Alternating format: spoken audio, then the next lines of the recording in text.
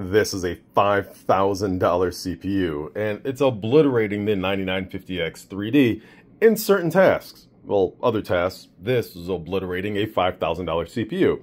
Let me break it down for you. And if you missed my previous video, this is a brand new AMD Ryzen Threadripper 9000 line of CPUs.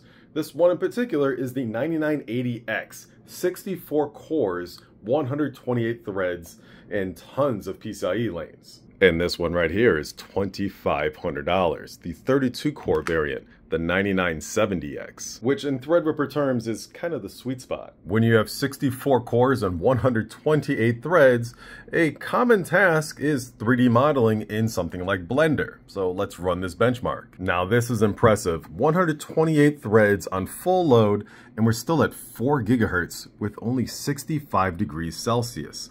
AMD is doing an amazing job with these high-end desktop CPUs. And its boost clock has been as high as 5.4 gigahertz. Okay, this is bonkers. These scores here are basically three times better than the Ryzen 9 9950X 3D. So I'm excited because we have a 64 core processor boosting the 5.4 gigahertz. That's gaming speed right there you wouldn't spend $5,000 on a CPU for gaming, but it can game after you're done with your 3D modeling, whether rendering, just movie production type of scenarios, and of course playing Star Citizen. But one particular impressive thing with this is the memory starts at 6400 megatransfers, and we're getting over 8000 with this as well. Plus, these Ryzen Threadripper 9000 CPUs are unlocked, so we can do some serious overclocking.